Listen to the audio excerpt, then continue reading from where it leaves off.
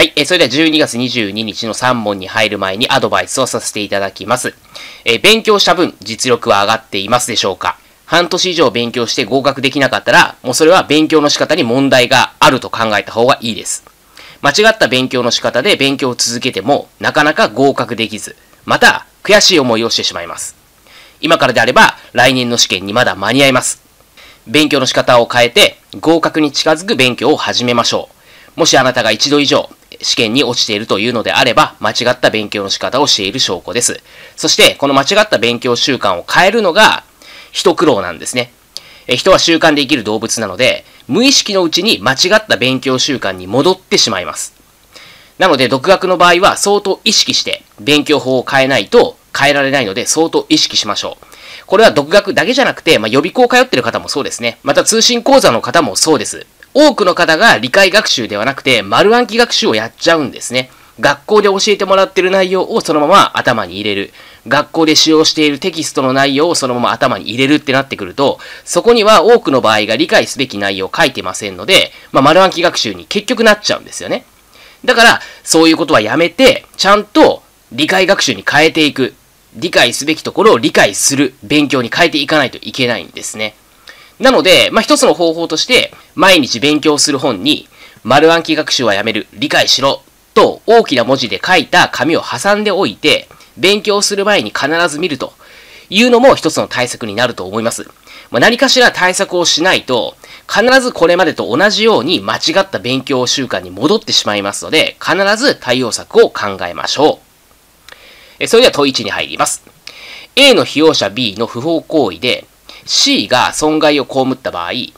B の職務外の行為であっても、その行為の外形から判断して B の職務の範囲内に属すると認められるとき、A は C に対して使用者責任を負うことがある。丸か×かという問題です。え答えは丸ですね。被用者っていうのは、まあ、従業員って考えていただいたら分かりやすいと思います。従業員が仕事中に不法行為をしたと。えこの場合、使用者、まあ、これ会社ですね。会社が、えーきちんと選任しなかった。またきちんと監督しなかった。まあ、こういった場合、使用者は損害賠償をしなければならないんですね。つまり使用者も損害賠償責任を負うんだってことです。まあ、これを使用者責任って言います。えそして判例では、被用者の職務行為そのものには属しない場合でも、つまり仕事中でない場合だったとしても、その行為の外形から判断して、職務の範囲内に属すると認められるとき、つまり、まあ見た感じですね、ここにも書いてあるんですけど、見た感じ仕事している時の不法行為だと、まあ見なされるような時ですね。そういった場合は使用者責任が生じます。つまり、まあ、問題文の B の職務の範囲内に属すると認められるとき、A は C に対して、A って使用者ですね。使用者は被害者 C に対して使用者責任を負うことがあるっていうのは正しい記述になります。で、問い2ですね。え取引証の交付を受けようとする者、かっこ、え取引資格試験合格の日から1年以内のもの、または登録の移転に伴うものを除くは、都道府県知事が指定した講習を交付申請の日の90日前から30日前までに受講しなければならない。丸か×かという問題です。え答えはこれ×ですね。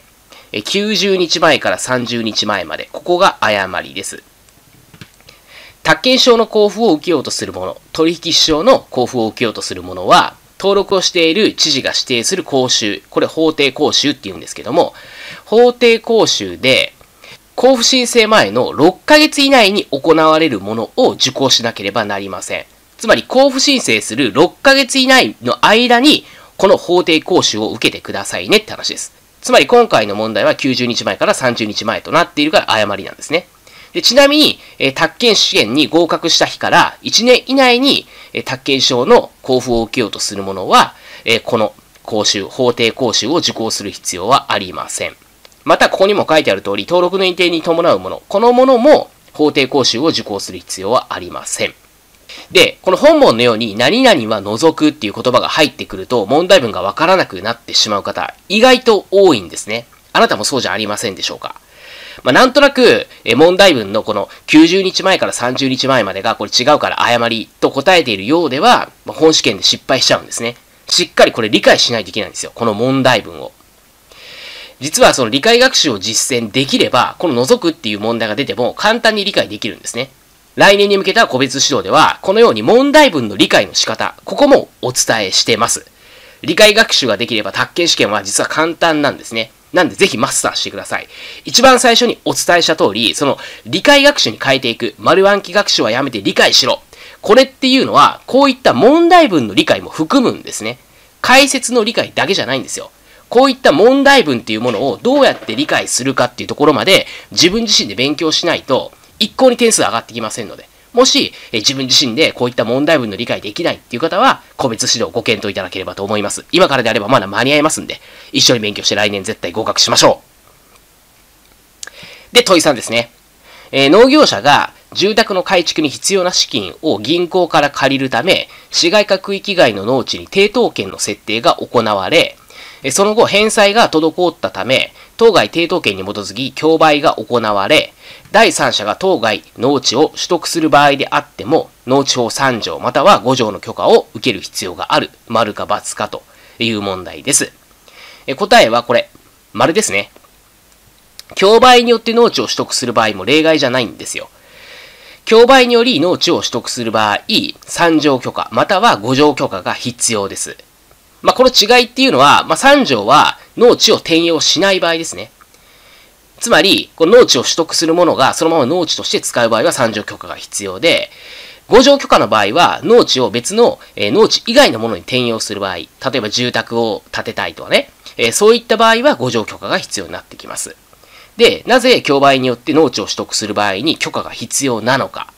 こういった理由を知っているのと知らないのとでは、実力が天と地ほど変わってくるんですね。